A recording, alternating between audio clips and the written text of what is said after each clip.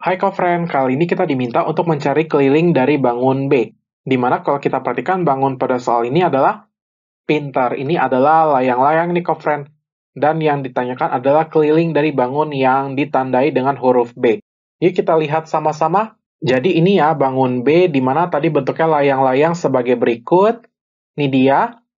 Oke, selanjutnya kita tahu bahwa Layang-layang memiliki ciri-ciri di mana sisinya, ya, layang-layang sendiri kita tahu dia punya dua pasang sisi yang sama panjang. Di mana yang dimaksud adalah pasangan yang pertama, pinter ini adalah, ini ya pasangan pertama adalah dua sisi yang berwarna merah ini kok friend. Lalu yang kedua, pasangan yang kedua adalah ini ya, tapi ini yang warna merah ini kita bisa sebutkan sebagai sisi yang panjang. Ya, kemudian untuk yang Selanjutnya, pasangan yang selanjutnya adalah yang berwarna hijau ini. Di mana ya niat terdiri dari dua sisi yang berwarna hijau ini, friend ini ya.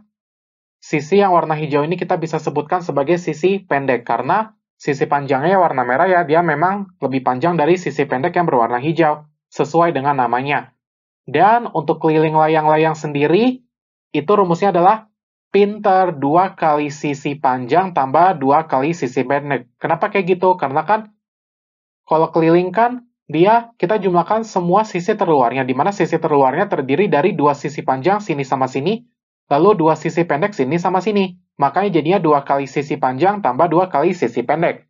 Nah berarti di sini ada operasi dalam kurung dan penjumlahan, maka kita perlu mengerti prioritas perhitungan, di mana yang pertama operasi dalam kurung, Lalu yang kedua perkalian atau pembagian di mana perkalian dan pembagian itu setara, serta penjumlahan atau pengurangan, di mana penjumlahan dan pengurangan juga setara. Dan apabila ada operasi yang sama atau berbeda namun masih setara, tinggal kita operasikan dari kiri ke kanan. Nah, berarti sekarang kita perhatikan sisi panjang dan sisi pendek dari layang-layang B. Kita perhatikan berdasarkan gambar, ya, yang menjadi sisi panjang adalah pintar. Yang sisi yang panjang adalah yang ini friend 20 cm. Lalu sisi pendeknya yang pintar 11 cm. Ya, sisi panjang 20 cm, sisi pendek 11 cm.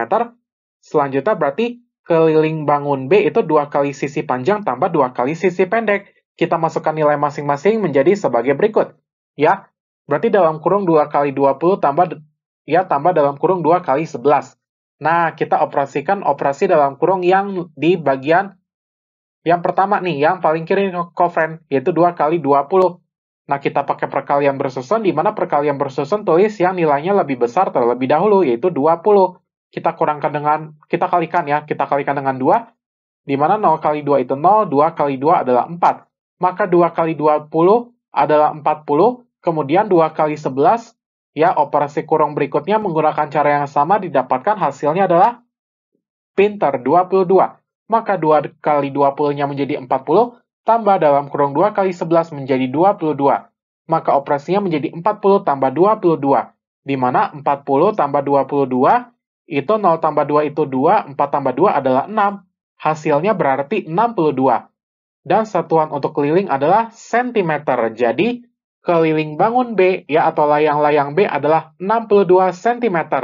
Nah, ya udah berarti keliling bangun B adalah 62 cm di mana pada opsinya itu ada di opsi yang C.